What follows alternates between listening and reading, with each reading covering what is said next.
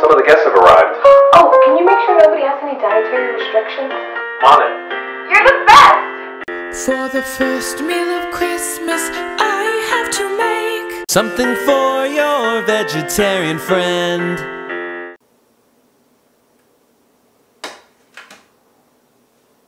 But the second meal of Christmas would like to have some fish. They're pescatarian. Something for your vegetarian friend.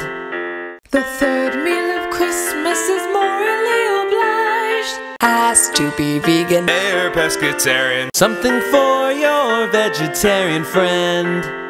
But the fourth meal of Christmas only eats meat. Won't eat carbs. Has to be vegan. They're pescatarian. Something for your vegetarian friend. Can't have any wheat. They're gluten free. Won't eat carbs. Has to be vegan. They're pescatarian. Something for your vegetarian friend.